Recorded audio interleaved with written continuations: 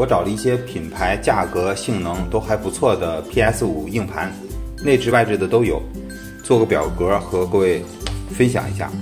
信息量有点大，我们先看第一条，这是西数的 SN850，国行二手，支持官方保修四年，但是要通过店铺保修。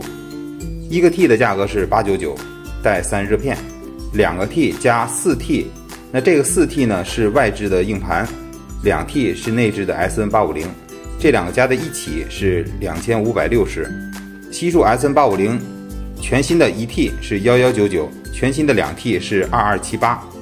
这两个全新的是全国联保五年。下面再看三星九八零 Pro，二手的店铺保修三年，两个 T 的价格是幺九九九，带散热片。三星九八零 Pro 全新的一个 T 是一千三百五十九。送散热片，全新两 T 是两千三百五十九，也是送散热片，这两个都是电保五年。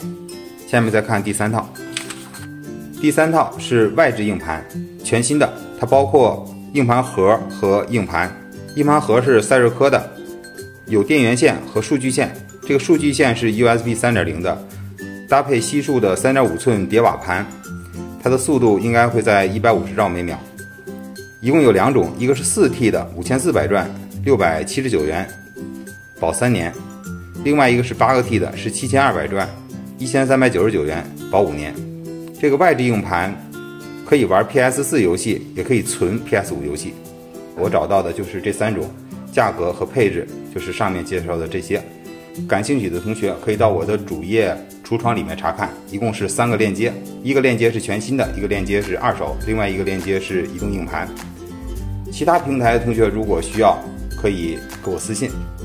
好了，以上就是本次视频的全部内容，希望能帮到你。买不买没关系，做个价格参考也是不错的。欢迎关注小白的宝箱，我们下次见。